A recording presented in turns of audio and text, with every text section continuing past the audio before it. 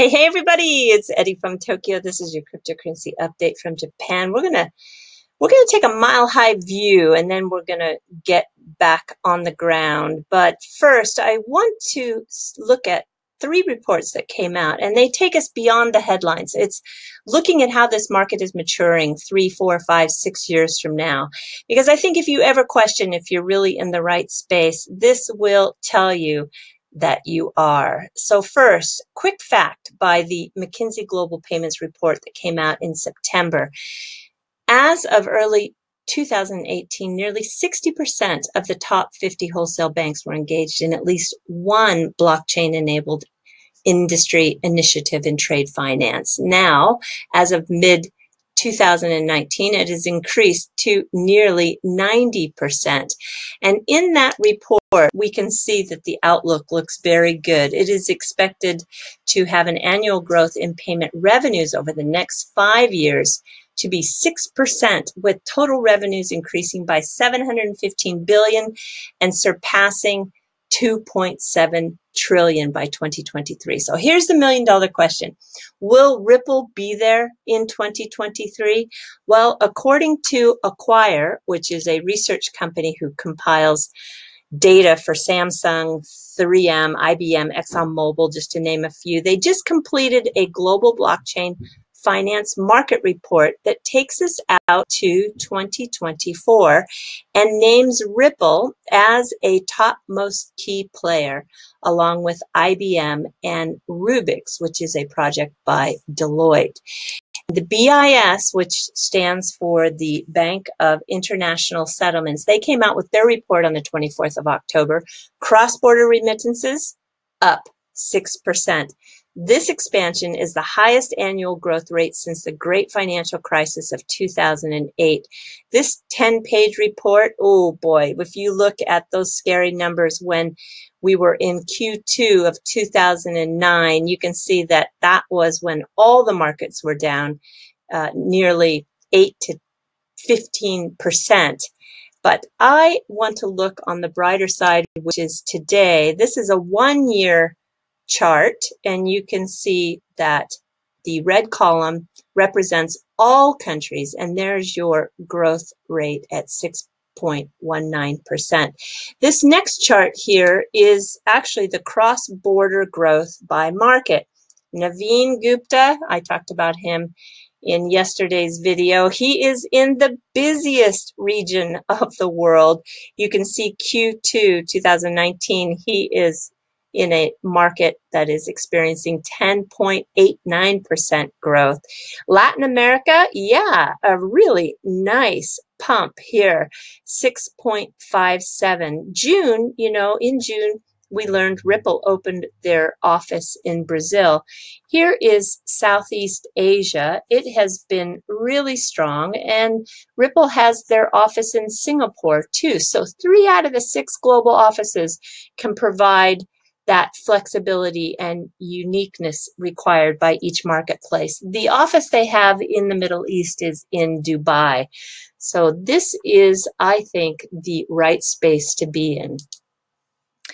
Okay, flip side. Uh, Flipside Crypto raises 7.1 million in a Galaxy Digital led round. This probably went under the radar for you as it did for me.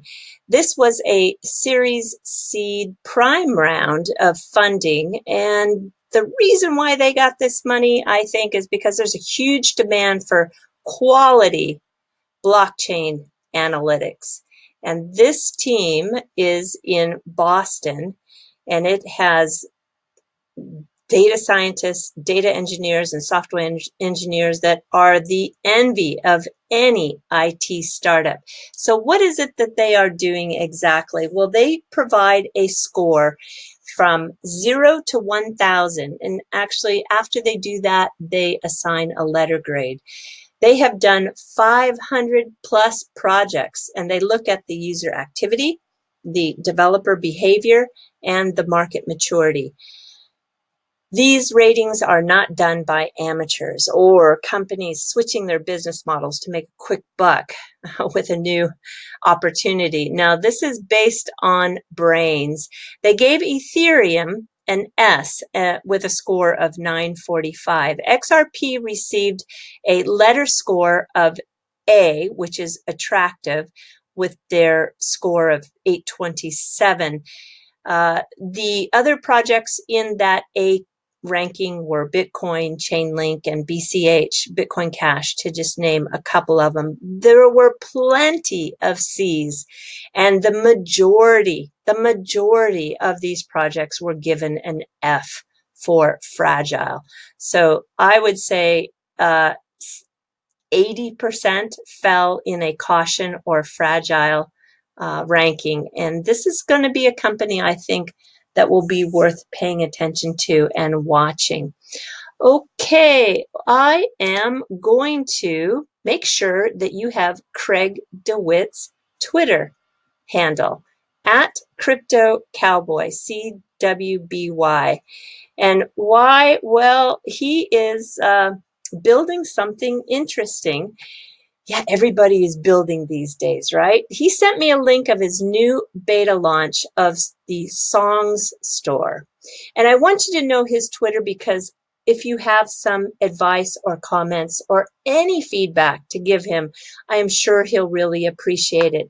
Here is the app here. It's very easy to use. You can send just 0.0589 XRP and then download a sample song.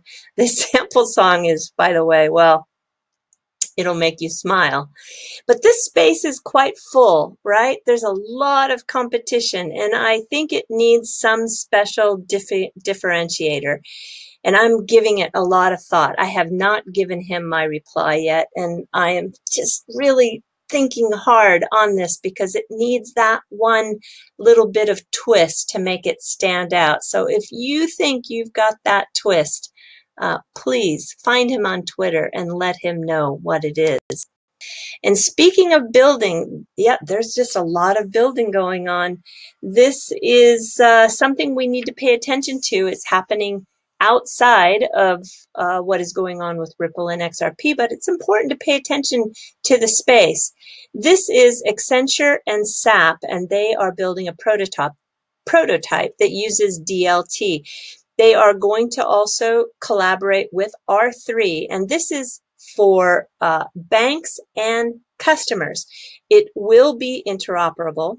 It will use digital tokens that are cryptographically secured uh, yeah, and R3 is going to make sure that it has a seamless integrated financial services ecosystem.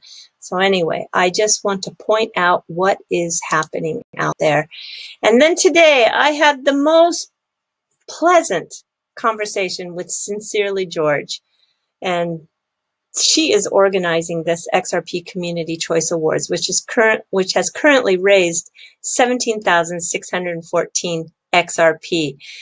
I was inspired to write this because she really pointed out to me how much the developers in all projects actually uh, need to be rewarded. And uh, this goes for anybody in the crypto sphere. And I think it's going to be a model for a lot of other projects to look at as a way to raise those funds for the for the developers uh, even if you don't vote and even if you uh, don't want to watch the final production that she is working so hard on. She's mashing together these pre-recorded award announcements, and there's going to be a surprise appearance, and there's even prizes. At least donate to the fund, just five XRP. It supports projects that are built on the XRP ledger, and it supports the developers who are building. It's going to benefit the entire XRP ecosystem. So this is what I felt after after I finish the conversation. Forget a foreign language. Learn JavaScript, C Sharp, C++, Python, Golang, Solidity, Java, or Rust. Participation in XRP Community Choice Awards is a model for all crypto. And the XRP donated, yeah, it's going to be 100% transparent and used to help developers via the XRP community fund. So here is the link to the XRP Community Choice Awards. She is pouring her heart and soul into this. It is a tremendous amount of work, and I think she needs to be recognized for this amazing contribution. Yeah, I truly do. So please, at least five XRP. All right, everybody, I'm jumping to the fluff. I am sticking with the Good Design Awards. This is Japan's Good Design Awards. It's held every year and has been for the last 60 years. You can find that they give awards out from websites to houses to teapots. And October 2nd, they announced the 2019 winners. Uh, all the works will be on display in Tokyo in the midtown area of Roppongi, which is in the core of the city from October 31st to Monday the 4th. Over 1,000 designs will be shown and it's free. And I just want to share with you some of the products that received the design award. This is an underwater drone from Taiwan. Yeah, um, underwater filming, ocean exploration, maybe for rec- recreational use. I don't know. I want to use it. Whatever you can dream of underwater, you can do it for just $1,599. And then look at this. Oh my gosh. This is the Dell curved monitor. It's 49 inches wide. It's a double screen display. You can use it with a single mouse and keyboard. $1,299 this is on my wish list. I, I just, I just have to do this one. And then the most unique, I think, was one project out of Japan. This is a Japanese book hotel. It's in Hakone, which are in the mountains about 90 minutes from Tokyo. In the hotel, there are 12,000 books that you can choose from. And all the rooms, all the rooms have an open air private soaking bath. 18 rooms, all with the mountain or greenery view, and it's a lot of green. Uh, every room is unique, and there are books everywhere in the room, in the halls, in the common space, even in the hotel restaurant. Look at this meal served inside a carved out piece of driftwood. I love the creativity of the presentation. And one more I want to share is a special favorite that I had looking through them all. This is a Japanese unprecedented garden called Mizuwa.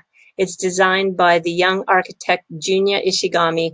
He completed his master's at Tokyo University of the Arts and Music, and he also won the Golden Lion Award in Venice back in 2010.